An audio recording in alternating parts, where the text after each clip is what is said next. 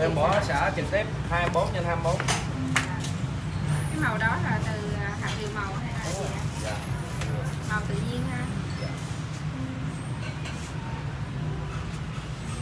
rồi nước à, bún bò được nấu từ à, xương và những cái bí quyết gia truyền các cái gia vị gia truyền rồi à, trong đây nghe cái mùi mắm ruốc mắm ruốc thơm mà không tanh thì có lẽ là quán họ sẽ nấu theo cái à, có cái bí quyết riêng của họ để cho nó dậy mùi mắm ruốc mà không có bị mùi tanh.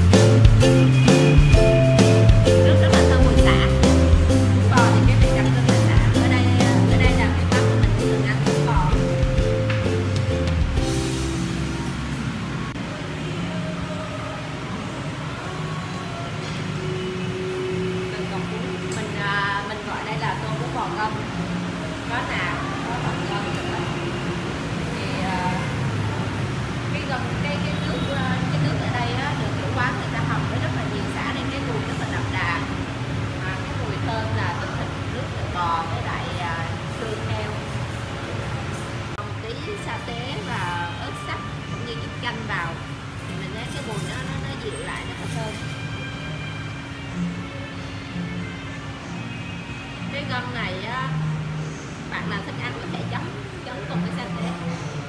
Kiểu của miền Nam thì thích ăn vậy.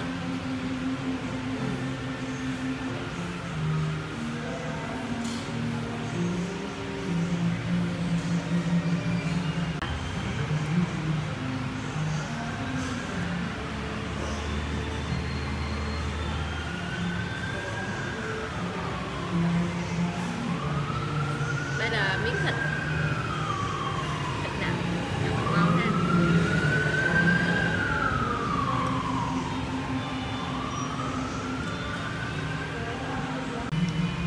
Bún bò á, nhìn thì đơn giản các bạn nhưng mà nấu rất là kỳ công bởi vì cái cái nêm nếm sao cho cái vị rút này nó làm nó làm cho cái nước nồi bún bò ngọt mà không có bị tanh á là cả bí quyết. Mỗi quán người ta sẽ có một cái bí quyết riêng. Thì ở đây mình thấy cái vị rút nó không có có quá đậm mà nó vừa phải thoang thoảng thôi. Cái vị đặc biệt ở đây là nấu nấu cái mùi xả rất là dậy. À, ngoài mình ăn ở ngoài Huế thì có khi mình nghe cái mùi rút nó nặng hơn và cay hơn thì có lẽ là do cái khẩu vị của mỗi vùng miền nó khác nhau.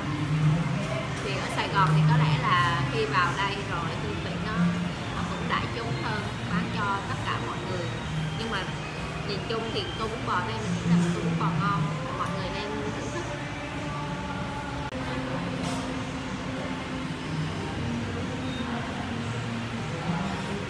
Đây là đây là bánh đây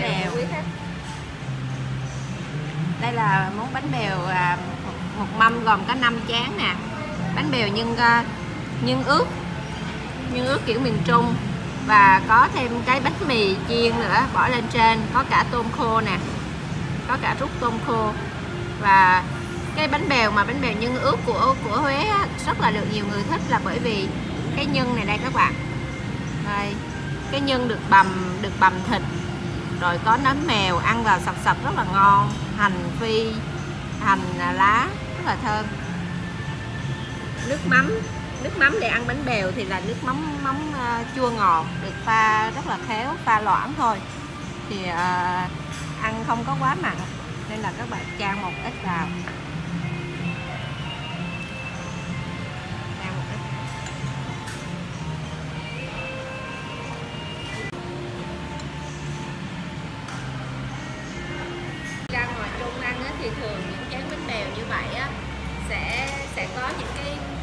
Còn có những cái đĩa bằng tre ăn giống như ngày xưa. Nhưng mà bây giờ thì không không còn mấy nơi như vậy nữa và chỉ ăn bằng muỗng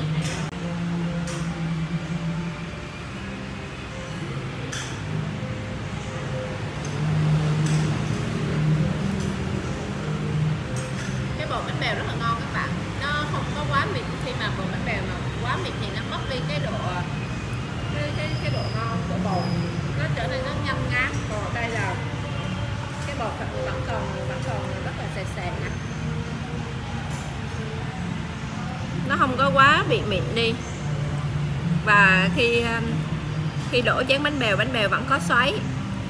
Ngày xưa là ông bà mình có câu á, là bánh bèo ờ, có xoáy mới ngon bánh bèo không xoáy là nó còn ngon chi? Thì cái bánh bèo này là có xoáy. Tức là đổ rất là đúng kỹ thuật. Ha. Nên là mình mình cảm thấy mình hài lòng với lại cái mâm bánh bèo này.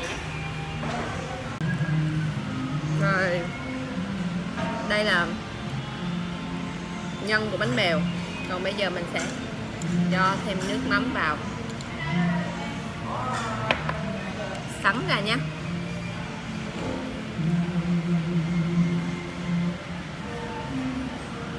đây một miếng bánh một miếng bánh bèo đầy đủ. Đầy đủ kiểu uh, miền Trung là gồm có miếng bột nhân nhân thịt bằm nấm mèo à, và có một ít rút tôm à, rắc lên trên cùng với lại bánh mì chiên. Đây là chè đậu trắng các bạn. À, này á, thì ngoài những món đặc trưng à, của Huế miền Trung như là bún bò bún bò nè rồi à, bánh bèo hay là bánh nậm bánh lọc thì có cái món tráng miệng mà mọi người rất là thích đó là các loại chè rất là nhiều loại. Thì trong đó có có cái cái chè khoai tím khoai tím nấu với nếp nè. Rất là ngon các bạn.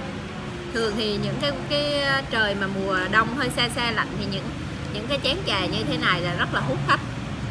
Mà mình ăn cái chén chè này ở đây mình lại nhớ đến cái khung cảnh trời ngoài trung. Những cái mùa mà giáp tết. Dạ, ăn một chén chè với bạn bè, rồi à, ngồi trong cái ờ, cái khung cảnh xe lạnh thì rất là thích. Đây cũng là một loại cũng rất là đặc trưng chè của miền Trung. Chè này à, giống như chè đậu cút. Đây là chè đậu đậu cút nước dừa. Món này thì à, miền Nam rất là phổ biến nè chè đậu cút. Đây. đây là mình sẽ thưởng thức chè khoai môn nhé mình sẽ ăn thử cái lá khoai.